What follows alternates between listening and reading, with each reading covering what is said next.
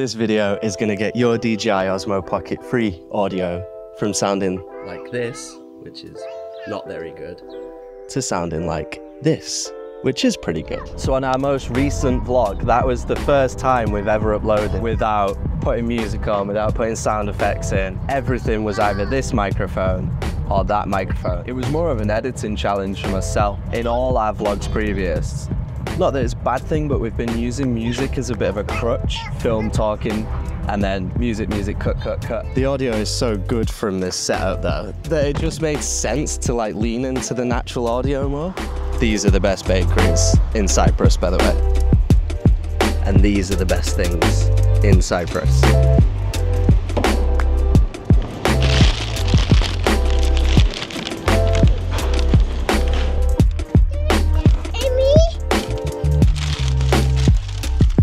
Since we've owned this camera, we've learned quite a few things because it doesn't come out of the box with the best audio. So that's exactly what we're gonna share, how to take it from the box to get in the best audio from the settings in the camera, the microphone, and even the edit. Now, I'm gonna assume you bought the Creator Combo with this microphone. Let's talk about this little microphone because I absolutely love it. It's got three buttons on it and we're gonna go through each one. So this one right here is my favorite because even with the camera powered off, you can still record audio internally to the microphone. Get a decent amount of memory as well. And you can just collect all your scratch audio. So say you wanted to record the sound of a river or some birds, whatever, you can do that.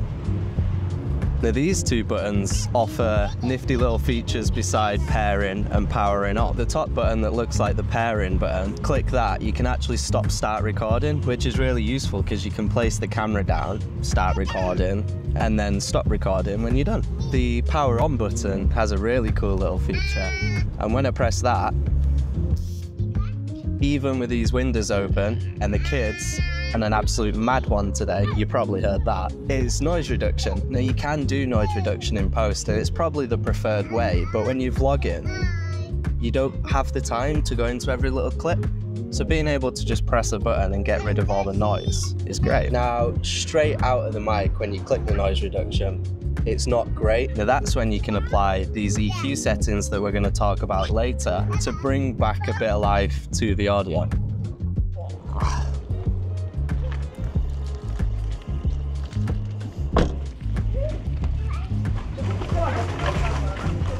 Right, Arthur, I got a special job for you. Can you hold the camera and point it at Daddy? Make sure you hold it good. Good?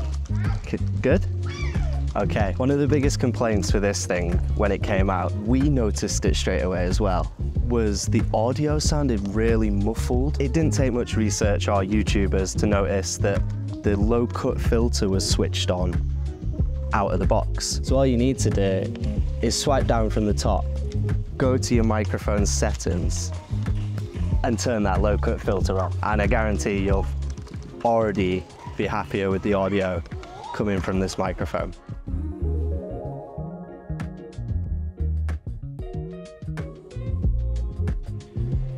So whilst we're talking about settings, we may as well dive into the other menus and talk through all those settings as well. Let's get straight into some menus. We'll make this quick, don't worry. We swipe down from the top, hit the settings icon, and then we've actually got a whole bunch of settings for the microphone here. So you've got battery life and the storage left on your mic. If you swipe down, you've got audio to video sync, turn that on, turn low cut off and 32-bit float recording on. And just bear in mind that that 32-bit saves to the microphone, not the video file. So if you want that and you need it, you've got to pull it off the mic. If we swipe from the right, you can click the microphone again. And notice mine's set at plus two. We'll come back to that. I got wormy. Yum, yum, yum, yum. Not mine. Uh-huh. Share. Ooh. It got dark whilst we were in there.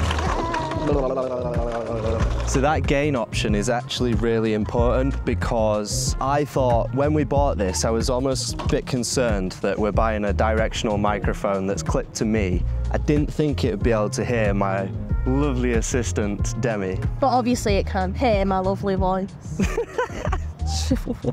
cool. Okay, let's jump straight in and talk about post-processing. Now, this isn't me being a genius. That belongs to this guy. So thank you for sharing your video. Let's get straight into it. Okay, so this is our edit. Ignore this layer. This is just so that we can do play back later and listen to them both. So we're gonna go to our effects panel and the first thing we're gonna load in is a parametric equalizer. And we're just gonna drag that onto there. Next up, we're gonna add a single band compressor, hard limiter, bass, and of course, treble. So we've loaded our effects on. Let's start with a parametric equalizer. We're gonna go to edit. We're gonna go to the drop down, vocal enhancer, 96, width. Done. Then we're gonna go to the single band compressor and select voiceover, hard limiter, limit to minus one decibel. And then bass, you can adjust this to your liking. We're gonna go five and then 2.2. So that's now done. So let's listen to this clip. And then if we flip back to the original, so that's actually a bigger difference than the last time I tried it. I'm gonna play that through one more time. If this video has been useful to you, please consider commenting down below. It means a lot. And if you want to see more of our family doing what we enjoy, which is hiking, traveling, getting outdoors, camping, then please consider subscribing to watch more than us just going for a shop. there is also one other thing that I wanted to mention because obviously doing that for every video clip would be horrendous. So what you can do is select your effects, click our equalizer, single band, hard limiter, bass, treble, and then if you right click, save preset and call it DJI Audio, that will then go to wherever your presets save. Again, you can see I called it DJI Audio, and then all I have to do then is just drag and drop. I hope you enjoyed that video. I know it's a bit camera-y, a bit techy. It's to do with our family vlogs because this is how we are creating the audio that you hear. If you want to watch one of our proper vlogs, you can watch this video here, which is that vlog we were talking about at the start with just the audio from this setup. Thanks for watching. Until next time. Bye bye.